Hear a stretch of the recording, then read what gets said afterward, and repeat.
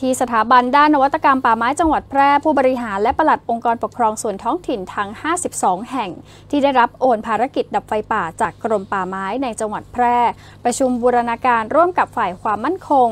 ฝ่ายปกครองท้องถิ่น และผู้บริหารหน่วยงานสังกัดกรมป่าไม้ในจังหวัดแพร่ เพื่อนำเสนอแนวทางในการป้องกัน และแก้ไขปัญหาไฟป่าหมอกควันและฝุ่นละอองขนาดเล็ก PM 2.5 ในจังหวัดแพร่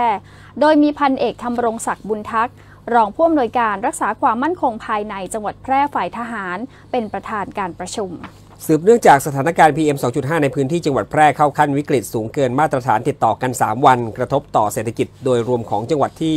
ที่ในที่ประชุมครับได้มีการรวบรวมปัญหาจากองค์กรปกครองส่วนท้องถิ่น ก็พบว่าอปทบางแห่งนั้นมีพื้นที่รับผิดชอบในเขตป่าเป็นจำนวนมาก กำลังคนไม่เพียงพอในการจัดชุดลาดตระเวนและเข้าไปดับไฟป่าที่เกิดในพื้นที่สูงชันและป่าลึก เสี่ยงต่อการเกิดอันตราย จึงเสนอให้ผู้นำท้องถิ่นท้องที่นั้นเข้มงวดคนที่เข้าหาของป่า และอาจจะถึงขั้นประกาศปิดป่า เพื่อเป็นการควบคุมและตรวจสอบคนที่เข้าไปหาของป่าอย่างเข้มงวด รวมถึงขอความร่วมมือจากพี่น้องประชาชนในพื้นที่ ช่วยกันสอดส่องดูแลเป็นหูเป็นตา และดับไฟป่าที่เกิดขึ้น ในช่วงควบคุมเข้มข้นนี้ต่อไปครับ